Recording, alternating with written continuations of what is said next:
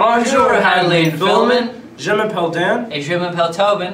Voici vos annonces pour mercredi, le 5 décembre, jour 5. Friday, December 14th is going to be an epic festive day for Hadley and Philemon. In the morning, we will have our annual holiday breakfast bonanza. At Philemon, it will be from 9.30 to 10.45 a.m. All of you will be out of class at that time and will have all sorts of activities to choose from and participate in. These are the options to choose from. One, for $5, you can eat pancakes or waffles and play Christmas themed games in the caf. Two, you can participate in or cheer on your friends in a teacher versus student game in the gym. Three, you can watch a Christmas movie in the auditorium. Four, or you can do all three.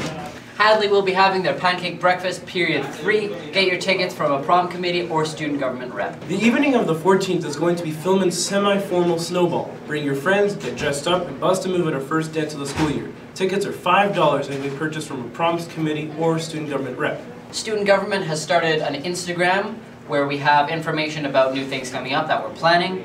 This is a great way to get ahead of the information, what's going down in our school, and get connected and get all that information.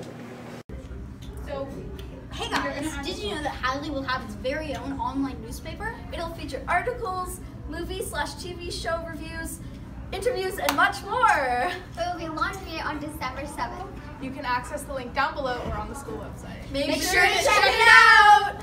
Yearbooks are now on sale, $45 cash only. Hadley, see Miss Kemp if you want to buy a copy, and Philemon, see Emily. Keep on bringing your non-perishables, Hadley and Philemon. Together we can make a difference this holiday season.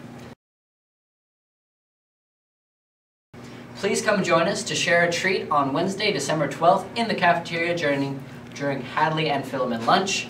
We'd like to promote compassion, sharing, and attachment as a school community by coming together and sharing a treat. A free cup of hot cocoa and a treat with a special message to share with a friend. Hashtag stand together, don't forget to wear pink. Staff and students, we are asking for yummy treat donations to share such as cookies, brownies, cakes, cupcakes, etc. Please bring your treat to Lindsay Place, room S18, or the Bear Lodge at room 132. No later than 9 a.m. on December 12th.